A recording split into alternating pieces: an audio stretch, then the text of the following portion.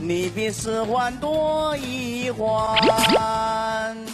啊，五环，你比六环少一环。大家好，我是邓良，来自重庆的山城小岳岳。欢迎欢迎，好像哦。你叫邓良，为什么叫山城小岳岳？